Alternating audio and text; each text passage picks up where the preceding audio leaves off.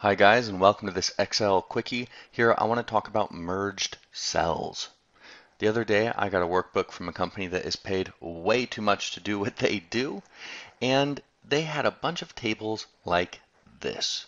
The formatting was such so that you couldn't tell what was a cell and what wasn't a cell. It just looked very nice.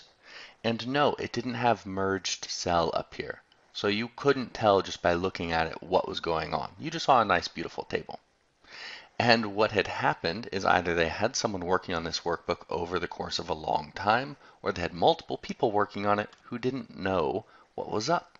They didn't know this was merged. So when you went to apply formulas to these tables that you paid a lot of money to get, you go down there and you wonder why the hell do you have a zero right here? Hmm, maybe it's because these are merged and this one is not merged.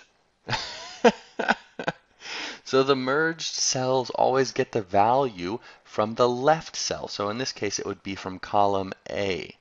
And this column A has nothing in it. Nothing. So it is a real pain.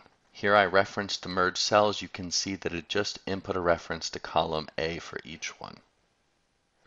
So what I want to tell you here is that with merged cells, just don't use them unless it's for a title, first of all, or don't use them at all, or just make sure that everybody's on board, or make it so that it is so clear that when you are on row 500 and you have a lovely little table, that you know that the cells in the table are merged, so that when you add another one, everything is merged.